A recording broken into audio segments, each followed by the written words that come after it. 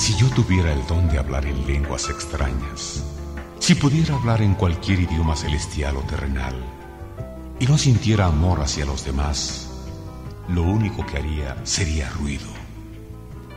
Si tuviera el don de profecía y supiera lo que va a suceder en el futuro, si supiera absolutamente de todo y no sintiera amor hacia los demás, ¿de qué me serviría? Y si tuviera fe tan grande que al pronunciar una palabra los montes cambiaran de lugar. De nada serviría sin amor. Si entregara a los pobres el último bien terrenal que poseyera, si me quedaran vivo por predicar el Evangelio y no tuviera amor, de nada serviría.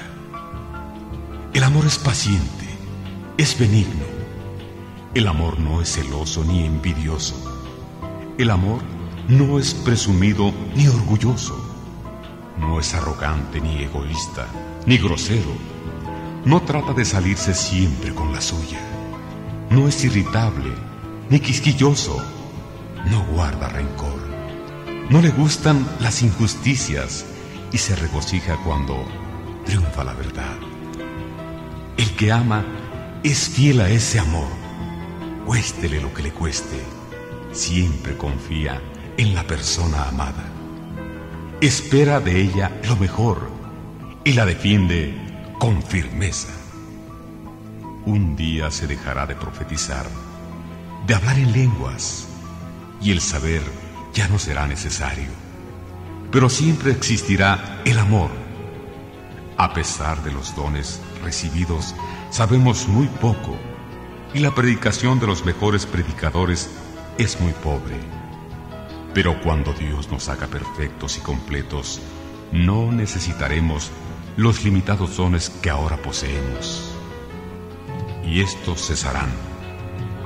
Cuando yo era niño, hablaba, pensaba y razonaba como niño.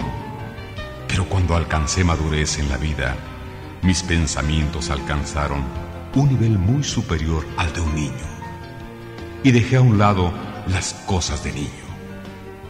De la misma manera, nuestros conocimientos de Dios son ahora muy limitados, como si apenas alcanzáramos a ver su figura en un espejo defectuoso y de mala calidad. Pero un día lo veremos tal como es, cara a cara. Mis conocimientos son ahora vagos, borrosos, pero en aquel día lo veré con la misma claridad con que él me ve en el corazón. Tres cosas permanecerán. La fe, la esperanza y el amor. Pero lo más importante de estas tres cosas es